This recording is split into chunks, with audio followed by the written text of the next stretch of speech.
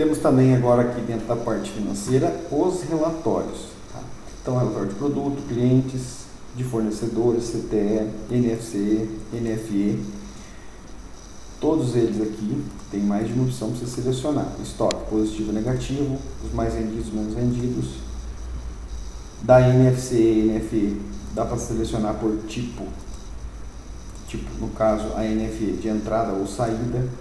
O estado, NFC é a mesma coisa. Tá? Novos, ajeitados, cancelados. Dá para buscar por cliente também. Quantos a pagar, quantos a receber e relatório de comissão. Relatório de comissão só vai funcionar se você selecionar um vendedor. Está selecionado, ele apareceu para ele fazer esse cálculo aqui lá dentro do cadastro de pessoas vendedores. Aqui tem que estar com o valor de comissão aqui para ele fazer o cálculo. Tá? Então, essa aqui é a parte dos relatórios.